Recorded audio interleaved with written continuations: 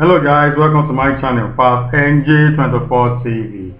So Nollywood actress Mercy Aigbe Adeoti has reacted to the pictures of Kazim Adeoti posted following a trending video of her husband and his first wife, Funsho Adeoti. Please, be new to this channel, don't forget to subscribe and hit the notification bell so you don't miss any update from this channel.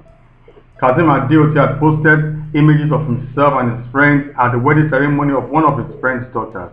His friend, the so-called Mala Shaw to the Oni of Ife, invited Kazim Adeoti, his first wife, and a few of his closest friends to his daughter's wedding. However, a video of Kazim Adeoti spraying dollars on his first wife went viral on social media. Mercy Aigbe reacted by revealing how pained she was to have missed the event and how handsome her husband was. She wrote, I miss this party. You are so handsome, Adon Atonda.